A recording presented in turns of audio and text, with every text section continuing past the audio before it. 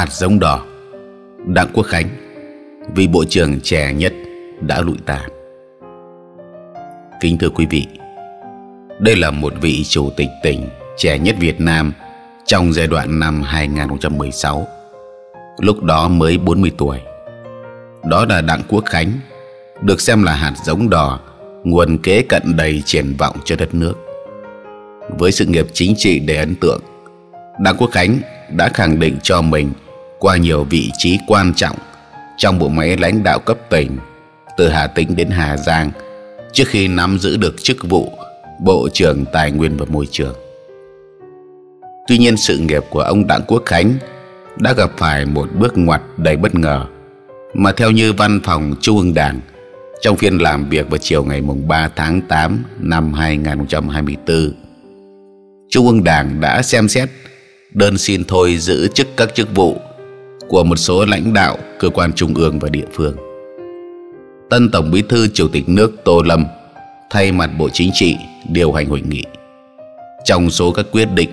đáng chú ý là việc ông Đặng Quốc Khánh, Bộ trưởng Tài nguyên và Môi trường, được cho thôi các chức vụ đã thu hút sự chú ý đặc biệt, gây chấn động lớn trong dư luận, bởi ông từng là vị chủ tịch tỉnh trẻ tuổi nhất cả nước ở tuổi 40 và được kỳ vọng là một trong những nhà lãnh đạo đầy tiềm năng của đất nước. Vậy từ một hạt giống đỏ đầy triển vọng đến việc cho thôi tất cả các chức vụ, lý do nào đã khiến ông rơi vào hoàn cảnh này và con đường quan lộ mượt mà của ông trước khi trở thành bộ trưởng Bộ Tài nguyên và Môi trường diễn ra như thế nào? Xin mời quý vị chúng ta cùng tìm hiểu phân tích qua video số này nhé. Có thể nói những tài năng trẻ như ông Đặng Quốc Khánh có thể là nguồn kế cận quý báu cho sự phát triển của đất nước. Đây là một nhận định chính xác bởi các nhà lãnh đạo trẻ thường mang theo năng lượng mới, ý tưởng sáng tạo và tinh thần đổi mới. Điều rất cần thiết trong bối cảnh phát triển và hiện đại đất nước. Họ góp phần xây dựng và bảo vệ tổ quốc không chỉ bằng sự nhiệt huyết mà còn bằng những cách tiếp cận mới phù hợp với xu hướng toàn cầu. Sự nghiệp của ông Đặng Quốc Khánh từ những bước đầu đầy triển vọng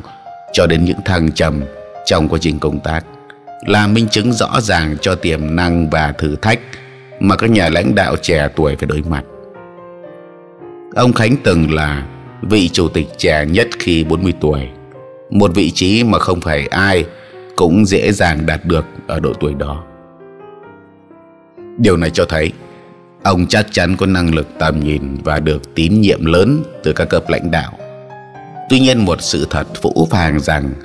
tuổi trẻ thường hấp tấp, thích khẳng định mình và không thắng nổi được lòng tham đã làm mất đi lương tri và phẩm giá con người. Đây là một bài học quan trọng đối với bất kỳ ai đang hoặc sẽ bước vào con đường lãnh đạo. Những viên đạn bọc đường ngọt ngào của quyền lực và tham vọng leo lên vị trí cao hơn đã khiến nhiều người, kể cả những hạt giống đỏ đầy triển vọng như ông Đặng Quốc Khánh, phải đối mặt với những sai lầm và thất bại cay đắng. Quyền lực và tham vọng là những cám dỗ lớn trong chính trị. Khi một người trẻ tuổi với đầy nhiệt huyết và khát khao khẳng định mình, dễ bị cuốn vào vòng xoáy của quyền lực, hoặc có thể mất đi sự tỉnh táo và lương tri cần thiết để đưa ra những quyết định đúng đắn những sai lầm trong chính trị không chỉ ảnh hưởng đến cá nhân mà còn có thể gây ra những hậu quả nghiêm trọng cho cả một hệ thống. Điều này đặc biệt đúng trong bối cảnh hiện nay, khi mà sự minh bạch và trách nhiệm giải trình đang trở thành những yêu cầu cấp thiết đối với các nhà lãnh đạo. Ngày buổi chiều ngày 3 tháng 8 tại hội nghị trên cơ sở báo cáo của ủy ban kiểm tra trung ương và đề nghị ban tổ chức trung ương Trung ương Đảng nhận thấy ông Đặng Quốc Khánh, ủy viên Trung ương Đảng, bí thư ban cán sự Đảng, bộ trưởng Bộ Tài nguyên và Môi trường, nguyên bí thư tỉnh Hà Giang, trưởng đoàn đại biểu Quốc hội khóa 15 tỉnh Hà Giang đã vi phạm các quy định của Đảng, chức trách nhiệm vụ được giao, vi phạm quy định về những điều đảng viên không được làm, trách nhiệm người nêu gương, các quy định về phòng chống tham nhũng tiêu cực. Nhận thức rõ trách nhiệm trước đảng và nhân dân ông Khánh đã có đơn xin thôi giữ các chức vụ được phân công và căn cứ quy định hiện hành của Đảng, Nhà nước và xem xét nguyện vọng cá nhân. Trung ương Đảng đồng ý để ông Khánh thôi giữ chức ủy viên Trung ương Đảng khóa 13.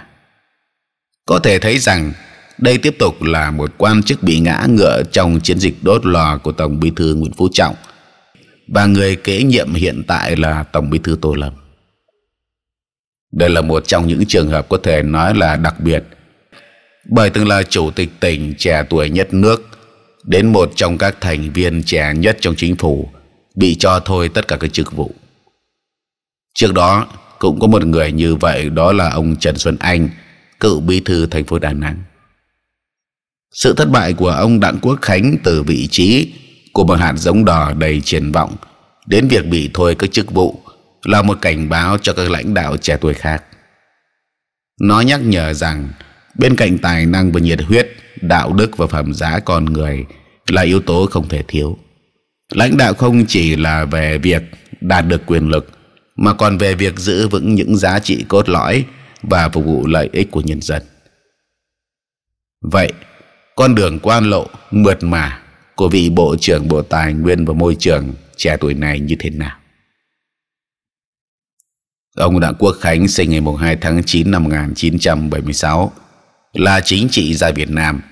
có học vị kỹ sư xây dựng và tiến sĩ quản lý đô thị, cao cấp lý luận chính trị. Ông có sự nghiệp xuất phát từ tỉnh Hà Tĩnh, từng là vị chủ tịch tỉnh trẻ tuổi nhất Việt Nam trước khi được điều chuyển về công tác lãnh đạo ở địa phương khác. Sinh ra tại xã Tiên Điền,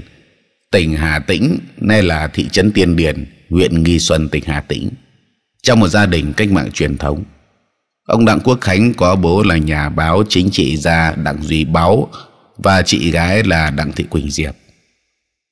Ông lớn lên ở Hà Tĩnh và tốt nghiệp trường Trung học phổ thông Huỳnh Thúc Kháng ở thành phố Vinh, niên khóa 1991-1994. Tháng 9 năm 1994, ông tới thủ đô Hà Nội, trúng tuyển và nhập trường Đại học Kiến trúc Hà Nội, tốt nghiệp kỹ sư chuyên ngành xây dựng dân dụng và công nghiệp vào tháng 6 năm 1999. Năm 2009, ông trở lại trường kiến trúc làm nghiên cứu sinh chuyên ngành quản lý đô thị và công trình,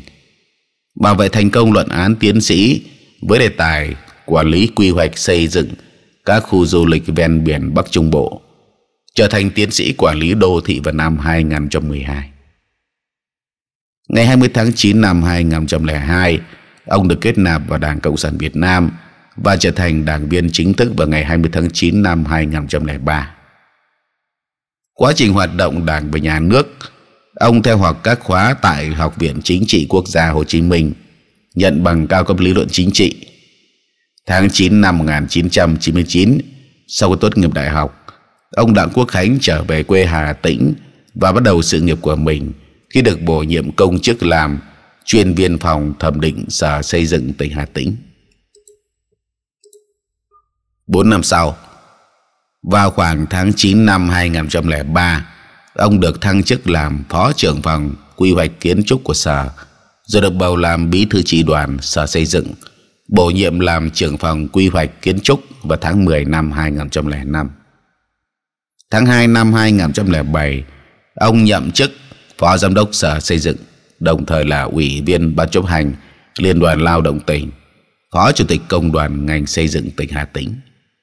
Sau đó là bí thư tri bộ giám đốc sở xây dựng từ tháng 10 năm 2008 khi đó mới 32 tuổi. Tháng 9 năm 2010 tại đại hội đảng bộ tỉnh Hà Tĩnh lần thứ 17 ông được bầu làm ủy viên ban chấp hành đảng bộ tỉnh. Tiếp tục là giám đốc sở xây dựng cho đến tháng 12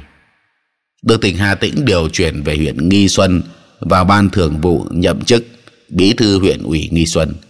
đồng thời trúng cử đại biểu Quốc hội Nhân dân tỉnh Hà Tĩnh từ năm 2011. Tháng 7 năm 2013, được Hội đồng Nhân dân tỉnh bầu, được Thủ tướng Nguyễn Tấn Dũng bổ nhiệm làm Phó Chủ tịch Ủy ban Nhân dân tỉnh Hà Tĩnh và là Chủ tịch Liên hiệp các hội khoa học kỹ thuật tỉnh Hà Tĩnh ở khối tổ chức xã hội khoa học. Tháng 10 năm 2015, tại Đại hội Đảng bộ lần thứ 18, ông tái đắc cử là tỉnh ủy viên, được bầu là ủy viên ban thường vụ tỉnh ủy, tiếp tục là phó chủ tịch tỉnh. Ngày 26 tháng 1 năm 2016, tại đại hội đại biểu toàn quốc lần thứ 12 của Đảng, ông được bầu làm ủy viên dự khuyết ban chấp hành trung Đảng khóa 12. Đến ngày mùng 10 tháng 4, tỉnh Hà Tĩnh bầu ông làm phó bí thư tỉnh ủy, phân công làm bí thư ban cán sự đảng ủy nhân dân tỉnh. Sau đó được giới thiệu kiện toàn bộ máy lãnh đạo và được hội đồng nhân dân bầu ông làm chủ tịch ủy ban nhân dân tỉnh vào ngày 21. Tất cả đều đạt tỷ lệ 100% và ông trở thành chủ tịch tỉnh khi mới 40 tuổi, trẻ nhất cả nước vào thời điểm đó. Ngày 6 tháng 7 năm 2019, Bộ Chính trị quyết định điều động ông Đặng Quốc Khánh tới tỉnh Hà Giang vào ban thường vụ nhậm chức bí thư tỉnh ủy Hà Giang. Tháng 10 năm 2020, tại đại hội đảng bộ tỉnh Hà Giang lần thứ 17, ông tái đắc cử là bí thư tỉnh ủy. Lúc đó trưởng ban tổ chức trung ương là ông Phạm Minh Chính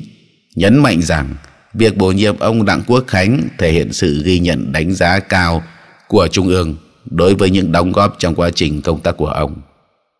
Bộ Chính trị tin tưởng trên cương vị mới, ông Khánh sẽ tiếp tục phát huy năng lực, phẩm chất, trí tuệ và kinh nghiệm của mình, hoàn thành xuất sắc nhiệm vụ được giao. Phát biểu tại buổi lễ công bố tân bí thư tỉnh Hà Giang, ông Đặng Quốc Khánh hứa rằng sẽ nỗ lực hết mình hoàn thành tốt nhiệm vụ được Bộ Chính trị phân công. Cùng thường trực tỉnh ủy, ban thường vụ tỉnh ủy, ban chấp hành đảng bộ tỉnh Hà Giang lãnh đạo thực hiện thắng lợi các nhiệm vụ xứng đáng với sự tin tưởng tín nhiệm của đảng bộ, đồng bào, các dân tộc trong tỉnh. Ông Đặng Quốc Khánh khẳng định nhiệm vụ rất nặng nề, tuy nhiên với ý chí quyết tâm cao, cùng với việc lớn lên từ mảnh đất Hà Tĩnh giàu truyền thống, được đào tạo bồi dưỡng qua nhiều năm công tác, bản thân sẽ phấn đấu hết mình để cố gắng hoàn thành nhiệm vụ mới tại Hà Giang.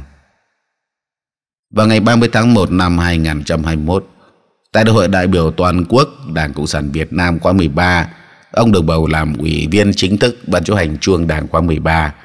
Ông tiếp tục lãnh đạo toàn diện tỉnh Hà Giang trong nhiệm kỳ 2020-2025.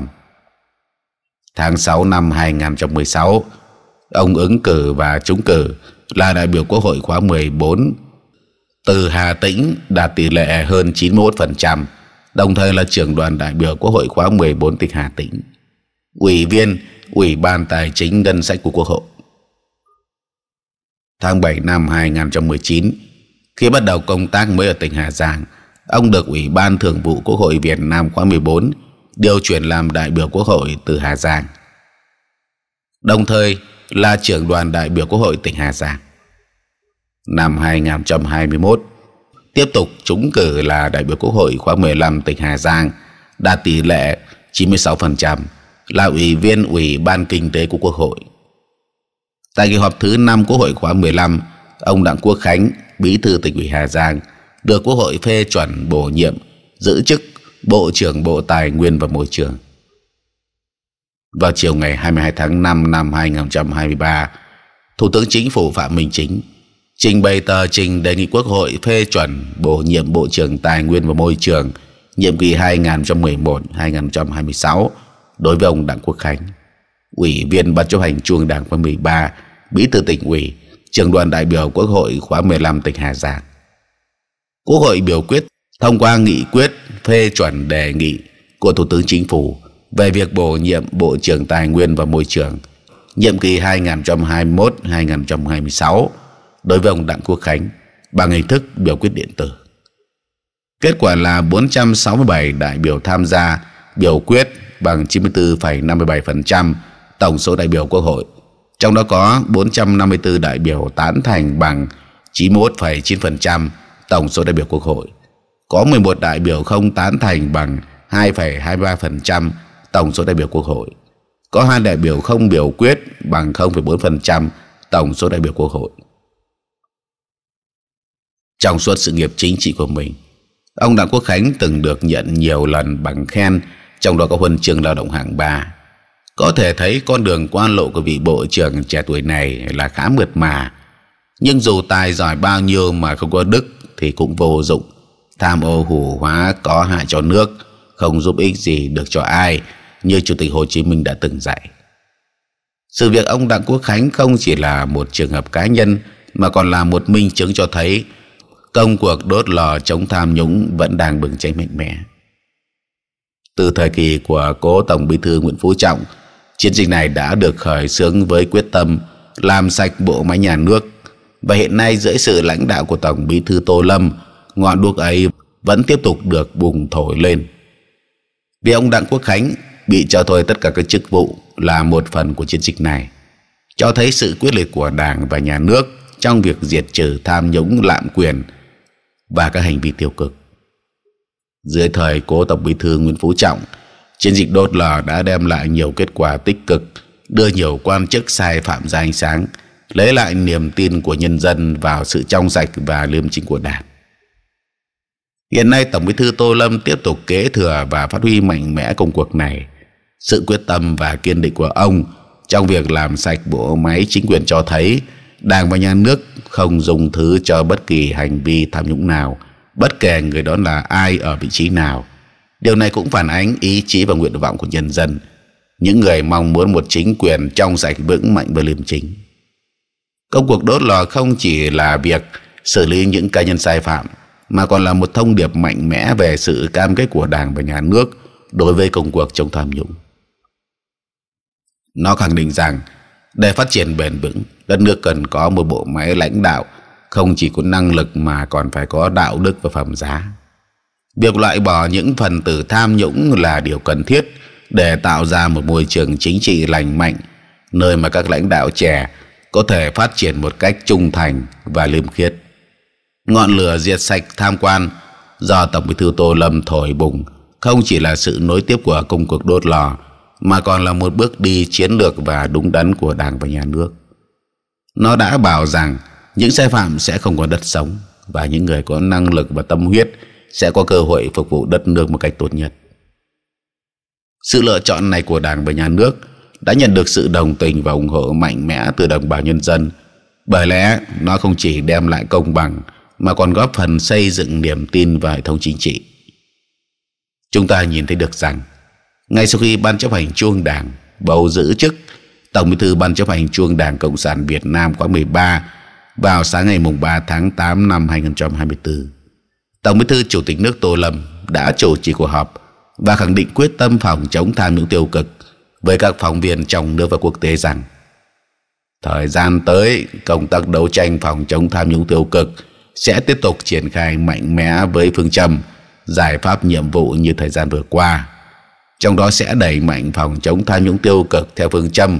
không ngừng, không nghỉ, không có vùng cấm, không có ngoại lệ. Bất kể người đó là ai, xử lý một người để cảnh tỉnh cả vùng, cả lĩnh vực. Xử lý trước hết là cơ quan có chức năng phòng chống tham nhũng tiêu cực, góp phần làm trong sạch nội bộ đảng, lòng tin của cán bộ đảng viên. Nhân dân dư luận quốc tế vừa qua tạo sự đồng tình ủng hộ, tạo niềm tin của nhân dân với đảng. Được cán bộ đảng thống nhất rất cao vừa qua công tác này có sự đoàn kết thống nhất trong trung ương, trong đảng, uy tín của lãnh đạo và cơ quan phòng chống tham nhũng tăng cao. Công việc này cần quyết liệt, triệt để, làm sao để chiến thắng được giặc nội xâm. Theo nhiều nhìn nhận và đánh giá cũng như dư luận xã hội cho rằng, việc trung ương bỏ phiếu bầu chủ tịch nước tô lâm, giữ chức tổng bí thư với số phiếu tuyệt đối đã thể hiện sự đoàn kết thống nhất rất cao trong đảng. Tại cuộc họp báo tổng bí thư chủ tịch nước tô lâm đã đưa ra thông điệp nhấn mạnh rất nhiều về việc tiếp tục xây dựng chỉnh đốn đảng thông qua đấu tranh phòng chống tham nhũng tiêu cực. Đây cũng là sự quan tâm theo dõi rất lớn của hàng triệu đảng viên, người dân và dư luận xã hội. Từ khi cố tổng bí thư nguyễn phú trọng không còn làm tổng bí thư, cán bộ đảng viên và nhân dân cũng bày tỏ băn khoăn không biết công cuộc đấu tranh phòng chống tham nhũng tiêu cực chống giặc nội xâm sẽ như thế nào? Bởi cuộc đấu tranh phòng chống tham nhũng tiêu cực rất khó khăn gian khổ. Bởi rất khác với đấu tranh phòng chống ngoại xâm. Đấu tranh chống giặc nội xâm là cuộc đấu tranh trong nội bộ trong lòng chúng ta. Khó khăn hơn rất nhiều so với chống giặc ngoại xâm. Lịch sử đã minh chứng người đứng đầu cầm quân trong cuộc chiến chống giặc nội xâm phải có tâm sáng bàn tay sạch. Chính vì vậy, nhấn mạnh việc tiếp tục đẩy mạnh công cuộc xây dựng và chỉnh đốn đảng, trong đó khẳng định tinh thần kiên quyết kiên trì chống chủ nghĩa cá nhân, chống tham nhũng tiêu cực trong đảng. Với phương châm không ngừng không nghỉ, không có vùng cấm, không có ngoại lệ, bất kể người đó là ai, xử lý một vụ cảnh tỉnh cả vùng cả lĩnh vực của Tổng Bí thư Chủ tịch nước Tô Lâm đưa ra đã nhận được sự đồng tình ủng hộ của đa số cán bộ đảng viên cùng các tầng lớp nhân dân. Hơn thế nữa, sau ba nhiệm kỳ, cố Tổng Bí thư Nguyễn Phú Trọng đã tạo ra một di sản rất lớn về mặt thể chế trong công tác đấu tranh phòng chống tham nhũng tiêu cực. Việc chỉ đạo sửa đổi hoàn thiện hàng chục bộ luật cũng góp phần phòng ngừa, ngăn chặn tham nhũng, tăng cường giám sát và kiểm soát quyền lực. Và trên thực tế, công tác đấu tranh phòng chống tham nhũng tiêu cực đã trở thành một xu hướng không thể nào đảo ngược. Có thể nói, thông điệp của Tổng Bí thư Chủ tịch nước Tô Lâm dù ngắn gọn nhưng lại chứa đựng thông điệp đổi mới thể hiện sự quyết tâm của Đảng nhà nước về phòng chống tham nhũng, quan liêu tiêu cực trong bối cảnh tình hình mới hiện nay. Như vậy đã là rõ quyết tâm phòng chống tham nhũng tiêu cực của Đảng nhà nước ta được tiếp tục đẩy mạnh theo phương châm không ngừng không nghỉ, không có vùng cấm, không có ngoại lệ. Bất kể người đó là ai, xử lý một người để cảnh tỉnh cả vùng cả lĩnh vực. Xử lý trước hết là các cơ quan có chức năng phòng chống tham nhũng tiêu cực, góp phần làm cho trong sạch nội bộ đảng. Đây cũng chính là quyết tâm chính trị của đảng nhà nước ta từ khi Tổng Bí thư Chủ tịch nước Tô Lâm tiếp nối trọng trách thiêng liêng cao quý từ những đồng chí tiền bối đi trước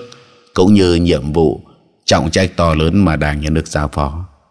Thông điệp của Tổng Bí thư Chủ tịch nước Tô Lâm sẽ làm cho đội ngũ cán bộ đảng viên và tầng lớp nhân dân ngày càng tin tưởng hơn.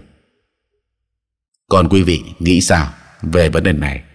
Xin hãy để lại bình luận ở bên dưới nhé. Hãy đăng ký kênh và ghé qua kênh mỗi ngày nhé.